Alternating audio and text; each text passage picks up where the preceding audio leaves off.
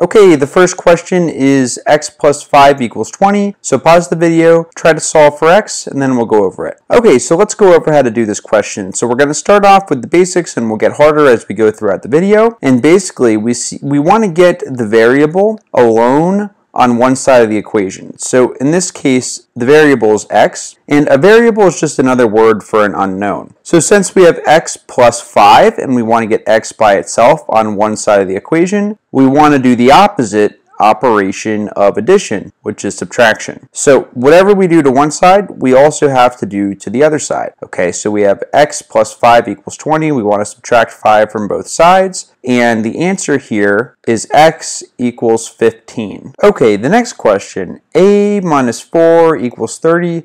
Pause the video, try to figure this out, and then we'll go over it. As always, what we want to do is we want to get the variable by itself on one side of the equation. So it's a minus 4, so we have to do the opposite operation of subtraction, which is addition. And whatever we do to one side, we also have to do that to the other side. We would want to add 4 to 30, and so our answer, a equals what? Hopefully you got A equals 34. Okay, the next question, 4B equals 40. So try to solve for B and then we'll go over it. Pause the video now and try it out. Okay, so this case, what we have to see is that 4B, that's the same as just saying 4 times B. So the object is always to get that variable, or the letter, by itself on one side of the equation. To do that, we need to take the opposite, or the inverse, operation. Another word for that is the reciprocal operation. And since it's 4 times b, the opposite of multiplication is division. We want to divide by 4. And whatever we do to one side, we always have to do it to the other. So 4 divided by 4 just equals 1. 1 times b is just b. There's no need to write the 1 here. So we can rewrite this. We bring our b right down here.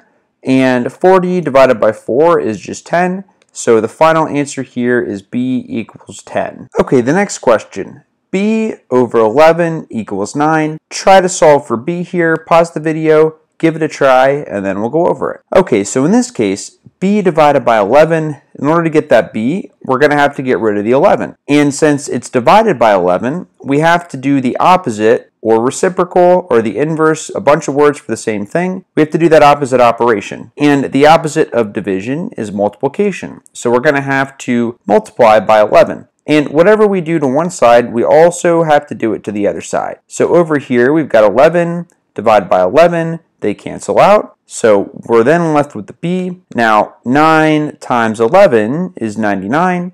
So the correct answer here is b equals 99. Okay, the next question is 3y plus 4 equals 25. So pause the video, try this out, and as always, we'll go over it. This is a little bit different, but hopefully you got the idea here, and if not, don't worry about it. We're going to go over how to do it right now. But whenever you've got a question like this, again, we always are trying to solve for y throughout this whole video. We always want to solve for the variable. And in this case, we want to first get rid of the 4 here before we do anything with the 3. And since it's 3y plus 4, we want to do the opposite of addition, which is subtraction. Whatever we do to one side, we also do to the other. So the 4 is going to cancel out. And let me rewrite what we've got. So rewriting this, I'm left with 3y equals 21. Now hopefully you recognize that 3y is the same as saying 3 times y. So the opposite of multiplication is division. So to get the y by itself, which is the goal, we want to divide by 3. Whatever we do to one side, we also do to the other. So on the left-hand side, 3 divided by 3 is going to cancel out. Now we just have to figure out what's 21 divided by 3. Hopefully you know that that's 7, so the correct answer here is just y equals 7. Okay, so the next question is 2x minus 8 equals 10. So go ahead and pause the video, try this out, and then we'll go over it. Okay, so there's a shortcut to solving this for x. If you didn't see it, that's okay. You don't have to use the shortcut to get the right answer. What I want you to see here is that if we look at all of the numbers, we see a 2, we see an 8, and we see a 10. So we can actually divide each number by 2 and we can get a much, much simpler equation to work with. So 2 divided by 2 is just x. 8 divided by 2 is 4. 10 divided by 2 is 5. So now we're just left with something. x minus 4 equals 5. And this equation is much simpler to deal with. Now we just have to say to ourselves, to get x by itself, we have to do something with the 4 here. So it's x minus 4, so we have to add 4 to get rid of it. Whatever you do to one side, you also do to the other. and x equals 9. If you didn't do it this way, that's okay. You didn't have to do the shortcut method as long as you got 9 you probably did it the right way. Okay, your next question is 5 over a equals 30. So pause the video, you know the drill, try it out, and then we'll go over it. There's several different ways to approach this question. Regardless of how you did it, let me show you an easier way I think to think about it. We want to get a by itself. So what I'm actually going to do is I'm going to say, well, we had 5 over a, so let me multiply by a on both sides of the equation. I did that because then after I rewrite it, what I'm going to have is 5 equals 30a or 5 equals 30 times a, however you want to say it. So now I can divide by 30 and whatever I do to one side, I have to do to the other. So this is going to give me 5 over 30 equals a. What I can do now is I can simplify this fraction, right? So I can divide by 5 on top and divide by 5 on the bottom. And if I do that, I'm going to be left with 1 over 6 equals a.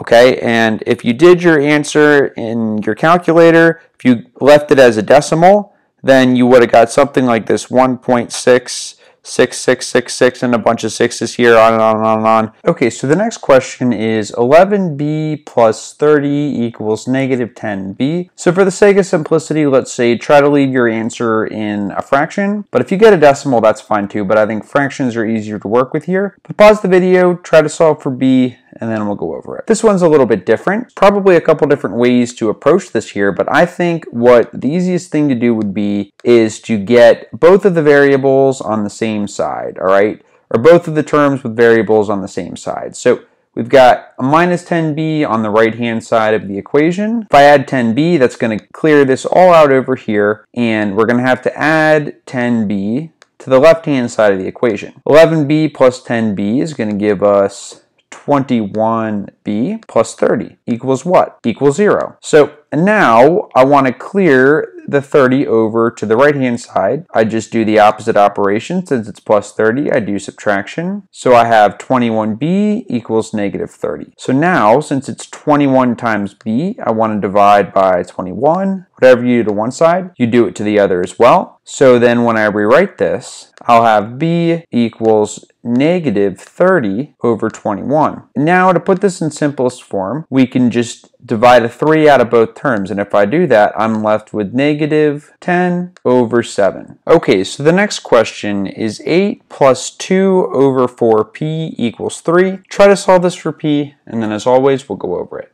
So go ahead, pause the video, try it now. Okay, so as always, there's several ways to approach this, but I'm going to show you what I take to be the easiest way. So since we have 8 plus 2, we can subtract 8 from the left-hand side, and also then we'll have to subtract 8 from the right-hand side. So we would then have 2 over 4p equals negative 5, right? Because 3 minus 8 gives us negative 5. So now what I would do is I would want to target this p and try to pull it out of the bottom part of the fraction, right? I would just multiply both sides by p. And as always, I'm doing that because p divided by p is going to cancel out. So I now have 2 over 4 equals negative 5p. Now I can divide the negative 5p out of here, or I'm sorry, just divide the negative 5 out of here, leaving the p, and here's what that would give me. So that would give me negative 2 over 4 times 5, and this isn't a decimal, this is supposed to be multiplication, we can actually now divide a 2 out of the top and out of the bottom because of this 4 here. So rewriting it a final time gives me negative 1 over 10 equals p. All right, and if you left your answer as a decimal, you probably got negative 0.1, so that's also the right answer. So if you like this video, you might like my GED math practice test. I have a really quick version in 8 minutes. It'll help you